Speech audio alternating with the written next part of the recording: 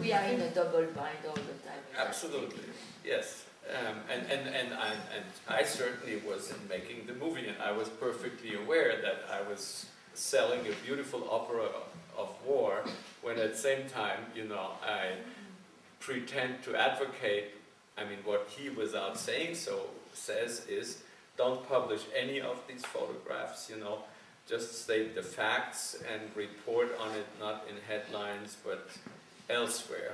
And just let the focus of the world go elsewhere, and maybe that's a way to, anyhow, we're in, in utopia here.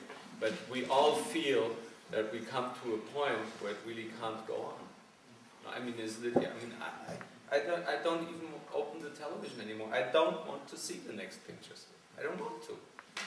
I, you know, I feel, and that's 25 years later, so I just wait till you've got 25 years on this your back. This What, what, what, I mean, how, how can you go on from there? And yet, in order to catch an audience, you have to improve on more sophisticated violence, more sophisticated visuals. And, that, and, and strange enough, we are getting them. That's only a and so we are in an, in, in an unbearable situation where we are, uh, we are creating hell. well, we never had reportages of wars for the last uh, for 500 years in the same way that you're talking about war being reported now and maybe being unreported. Well, they, they were not the means and they could control it better. But there was still the wars. Embedded, embedded, yes. embedded this war. Okay, Mahmoud. Um, I think my question will answer your, your question. Uh, I, I don't want to go to the stereotyping of a country once again. In fact, this is one of the least stereotyping films I've ever seen. But to me, this film is about Germany, its violence, and the war in, inside the hearts and minds of the German people, in the midst of the beautiful setting.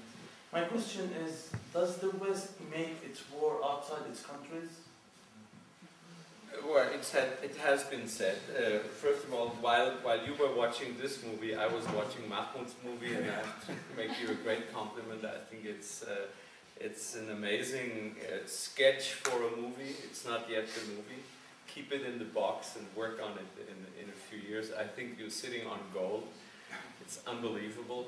I mean, especially the man on the leash. Uh, ever since you made the movie, it has taken an entirely new meaning which we can't help looking in. I mean, some of you have seen this film. Um, and uh, a man kind of turning voluntarily in the dark, into the dark, in Beirut, Lebanon today. So, um, yes, uh, I never, uh, well, I mean, we were very clear. We won't pretend, you know, that we can represent any of the factions, and especially not of Lebanese people's feelings. We talk about these foreigners who get there, and the French has, uh, Jean Carmet has his point of view, and uh, Anna Schygulla has her point of view, and he has his point of view, and if you say, in a sense, it, it's been said we've pacified our societies, and now our need for violence, uh, we have it staged elsewhere, and then we can consume it uh, without uh, dirty hands. Uh, sounds, I mean, it's a, sounds like a brilliant idea. I don't, I don't really see any one of us actually uh, working on exporting our needs for violence into third world uh, war, uh, wars. Everything else, but not yeah. violence. Yeah.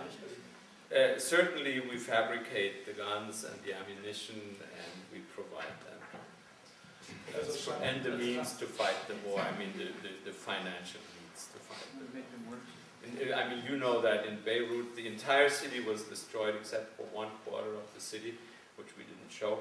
It wasn't our purpose, which was where all the banks were.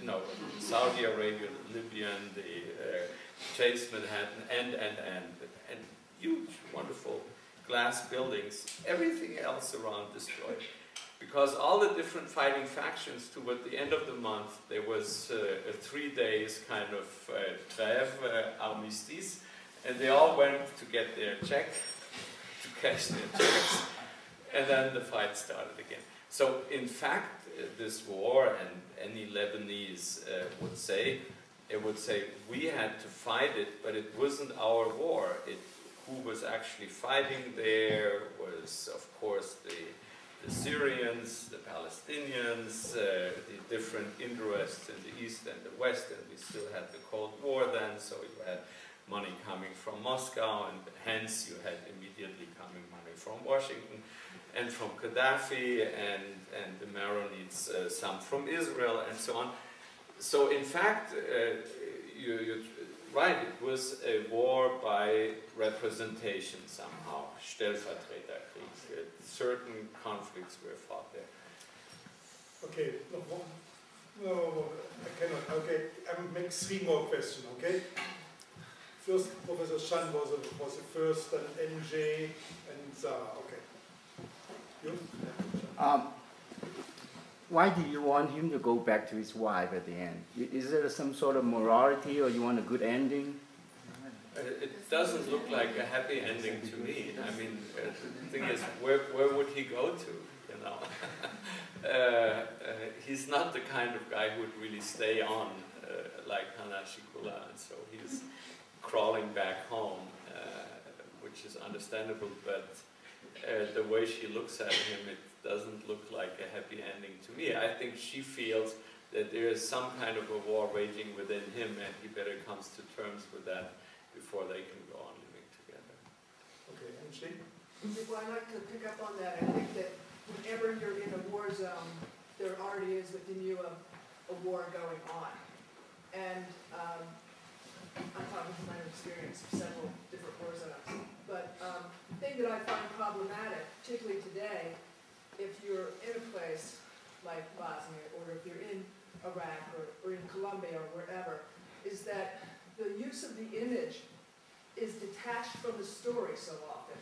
And a lot of times the person who wants to, who has the eyes for the story, is not even reporting the real story that's going on.